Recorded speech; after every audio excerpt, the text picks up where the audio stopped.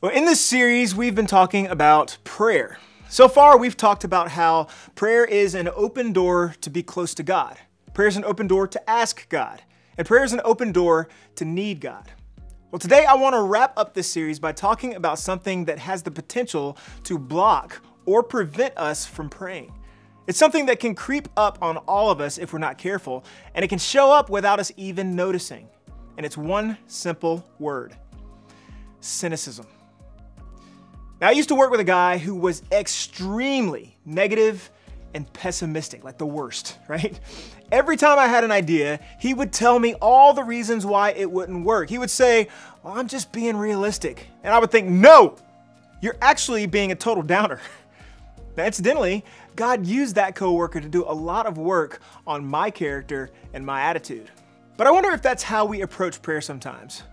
Or is it possible that's why some of us don't pray at all? And we're tempted to be cynical and pessimistic and negative. We think of all the reasons why prayer won't work. We tried before and it didn't work. We don't use the right words. Our heart isn't in the right place. We don't think that God will change us. We don't think that God will change the people around us.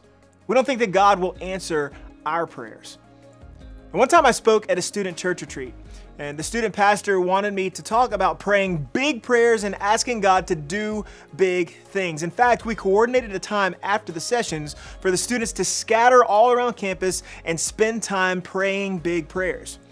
Well, while the students were out, the student pastor came to me and he asked, Do you think we're setting them up for disappointment? I mean, you just preached about asking God for big things. Some of these students may be praying for the first time. So, what's going to happen if they don't get what they ask for? And to be honest with you, I had no answer.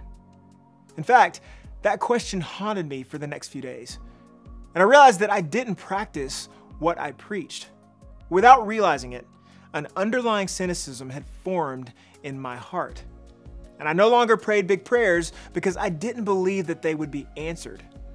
So, one of my first big prayers was for God to give me back my passion. Why? Because passion is one of the first things that goes when we become cynical about prayer. We, we check out, we become passive, we go through the motions, we become numb, or we simply just stop praying altogether. And what we don't realize is that while we're trying to protect ourselves from crushing disappointment, we're actually preventing ourselves from being hopeful. To be cynical is to be distant from hope and detached from passion. That's the cost of being cynical. Now, the truth is, for most of us, we want to control things. And prayer is simply something that we can't control. We can't guarantee that we'll get what we want. We can't force God to do what we ask, but guess what? We can't control other people and outcomes either, can we? So, as much as we clamor to hold on to and control any area of our lives, we never really have it. So, the question is this if cynicism shuts the door to prayer, what can open it back up? The challenge with prayer is that there's not really a way to explain how it works. There's no formula or equation for how to pray. God isn't a vending machine, and if you look at prayers throughout the Bible for an example of how to pray, it won't necessarily get clearer for you. The way people talked to God spanned a range of styles and emotions. In the Old Testament, King David wrote many songs and poems. They were written as communication with God, which is essentially what prayer is. This is what David saying in Psalm 131 My heart is not proud, Lord. My eyes are not haughty. I do not concern myself with great matters or things too wonderful for me. But I have calmed and quieted myself. I am like a weaned child with its mother. Like a weaned child, I am content. Israel, put your hope in the Lord both now and forevermore. David didn't claim to be able to do things in his own strength, nor did he claim to be able to figure things out on his own, but instead, he was content like a child with his mother. He didn't have control, but he had trust. And that's what made his relationship with God so close and intimate. And the same is true with people. The best relationships in the world are always based on trust. Children trust that their mother will take good care of them. They know she loves them. They aren't cynical, wondering if mom is going to come through for them. When we pray, we give up our freedom and our independence. We yield our need for control, and in return, we gain a closeness with God, like a mother and her child. The things that activate that closeness are dependency and trust. And many years later, the Apostle Paul wrote this Oh, the depth of the riches of the wisdom and knowledge of God! How unsearchable his judgments and his paths beyond tracing out! Who has known the mind of the Lord? Or who has been his counselor? Who has ever given to God that God should repay them? For from him and through him and for him are all things. To him be the glory forever. Amen.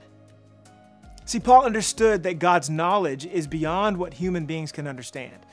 And like David, he didn't concern himself with things that were beyond his control. He trusted that God sees beyond what he can see.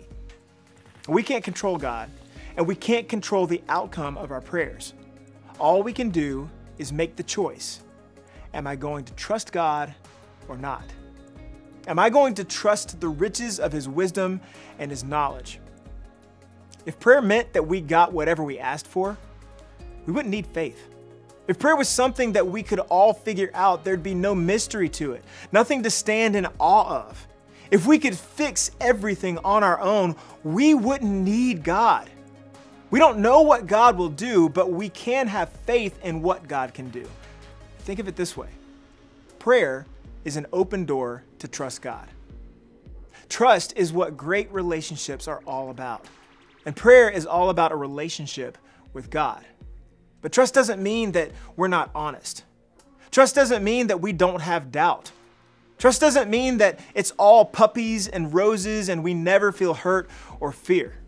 Let's look at a song by David. How long, Lord, will you forget me forever? How long will you hide your face from me? How long must I wrestle with my thoughts and day after day have sorrow in my heart? How long will my enemy triumph over me? Look on me and answer, Lord my God. Give light to my eyes, or I will sleep in death, and my enemy will say, I have overcome him, and my foes will rejoice when I fall. But I trust in your unfailing love. My heart rejoices in your salvation. I will sing the Lord's praise, for he has been good to me. There is nothing passive about this prayer. Yes, David trusted God. He even said, I trust in your unfailing love. But he also honestly expressed his doubts. It's like he, he wrestled with God through this whole prayer. Sometimes it's easy for us to question if God is loving or if he's willing to help us. But instead of engaging with God the way David did, we check out and become passive. We choose to feel nothing instead of staying passionately engaged. God's not put off by our questions or our fears or our doubts. He is completely aware of our circumstances and He sees what we can't see. Will we give up on the struggle and check out? Or will we be willing to stay in the mix with God? Now, as we get ready to close this series, I want to encourage you to take a few steps. First, look for the ways that God has been good to you. Instead of looking only at the things that didn't work out the way you hoped, begin looking for the good things. Prayers that God did answer, ways that He's moving in your life and the lives of people around you through prayer and gifts and blessings that He's offered to you. Begin to ask God to give you hope and help you see more with eyes of faith.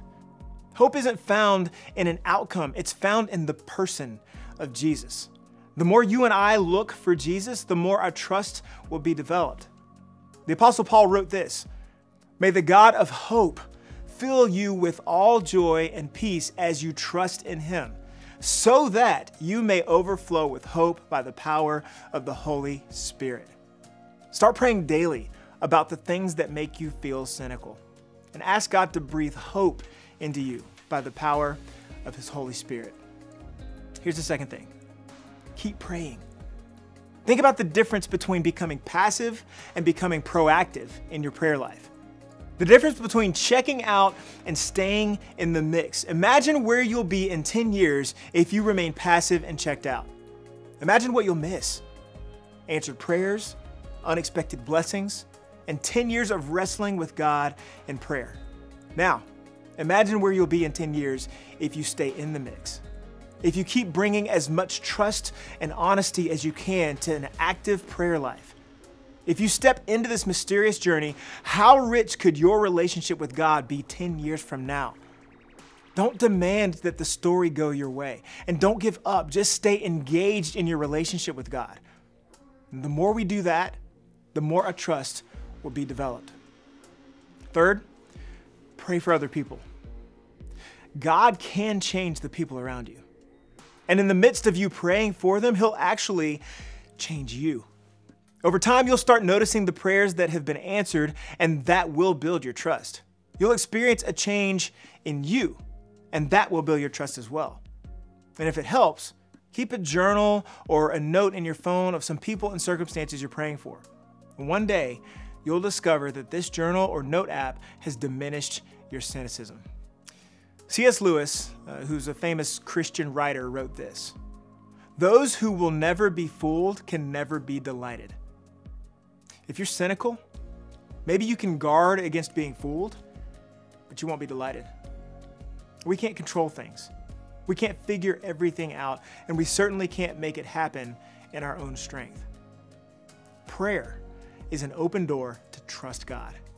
It's an invitation to be honest and proactive and engaged and passionate in a prayer life that doesn't always make sense. It's a mysterious journey with a God who sees what we can't see. But over time, this journey becomes a delightful one, a journey that we'll never regret. God wants a relationship with you, and prayer is a beautiful door for you to walk right through.